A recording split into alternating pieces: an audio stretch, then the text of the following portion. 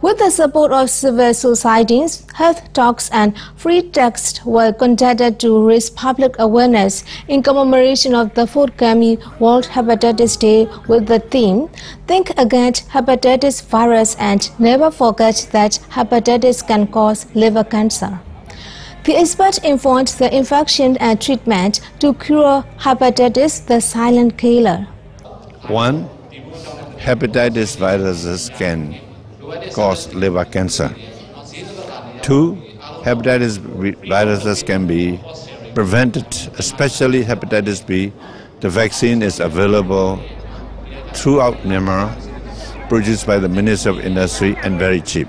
Three, unfortunately, if you are infected by the hepatitis B and C virus, we do have in Myanmar very good medicine that can cure or clear the hepatitis viruses and prevent the liver cancer. Hepatitis A cases are common among the children under 13. Middle-aged men suffer from liver diseases due to the liquor. 10% of the population suffer from hepatitis B. The public attended health talks and got free tests and vaccination with discount. I have learned that hepatitis B can be infected through street food, sweat, or family generation. Moreover, the infection can happen among friends.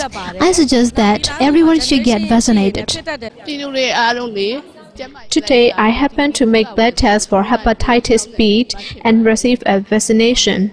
We can cure hepatitis B at the very first stage before it became worse.